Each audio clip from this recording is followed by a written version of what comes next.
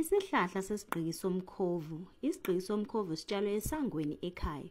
Uma sisesincane asichelelwa noma ngubani. Kufanele sichelelwe ngumuntu omdala ekhaya.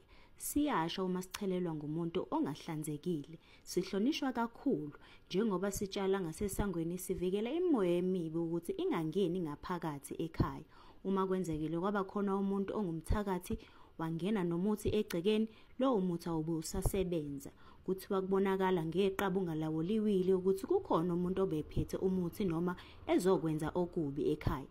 Lesi sihlahla kuthiwa siyasiza noma umuntu ekuthumele ngomkhovu ukuthi awuzokwenza imisebenzi yakhe emibi, awukwazi ukuyenza. Ufike uhlale phezu kwaso isigqiki somkhovu.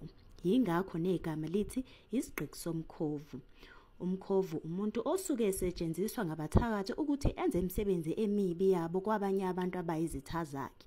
Umkhovu umuntu osuke efe ngendlela engaqondakali kodwa umndweni wona wamukele ukuthi umuntu useshonile bamongcwabe kanti akusiye isithunzi sakhe. Kuthiwe lowo osuke ethwebule umuntu uyamgcina isikhathi esingangonyaka ngaphambi kokuba amshayele isipikili kukhakhayi. Ngesikhathi esamgcinile umnikeza imithi emibi yokwenza ukuthi ingqondo ingasebenzi kahle, angakhumbuli ukuthi yena ungowakwabani.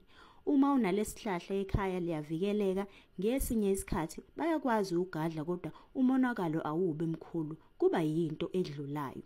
Kuthiwa lesihlahla kufanele ube nencwadi esemthethweni yokuba naso kodwa kuyenzeka ukuthi abantu babe naso ngoba besifice endaweni sizimilele ezindaweni ezisemahlanzeni. Kuthiwa zihlukene izigaba ezimbili-ke kodwa lezi zihlahla kodwa zenza umsebenzi owodwa kanti nezinyoka azisondeli eduze nalesihlahla ngenxa yephunga laso.